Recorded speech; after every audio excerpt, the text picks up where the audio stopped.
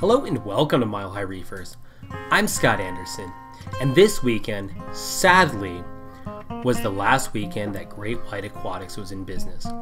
So we went and went to their going out of business sale. This is always a sad thing to walk through and see the death of a reef store. And as you can see, once upon a time, it was a great store full of awesome tanks. The good news for everybody was that they were tearing the store down and selling everything off bit by bit. So while it's sad to see a store go like this, it was great to buy pieces of the store that will live on in my reef and many other hobbyists' reef for a long time to come.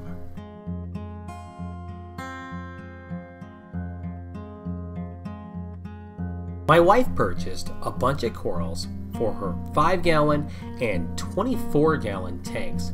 She also purchased a stand for the 5 gallon nano. White Aquatics gave me this awesome shop light that is now hanging in my garage. I purchased a male Mandarin Dragonet. I have a female Mandarin in the tank that I purchased a couple years ago with a male. Now, shortly after purchasing my female, the male passed on. He developed a large sword on his body and he died from that. I have no idea what it was.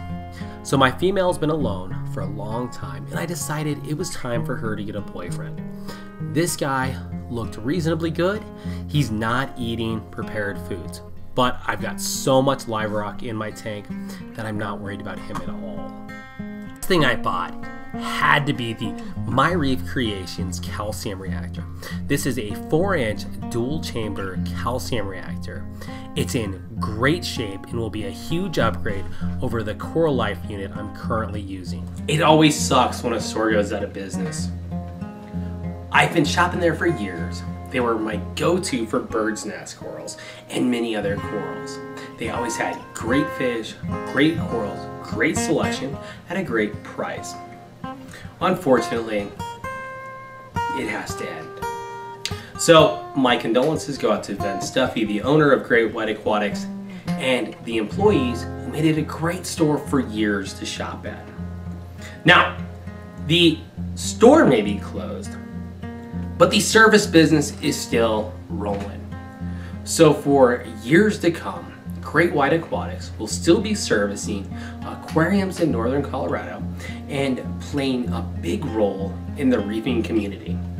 So, here's to many more years, and I hope to see you guys soon.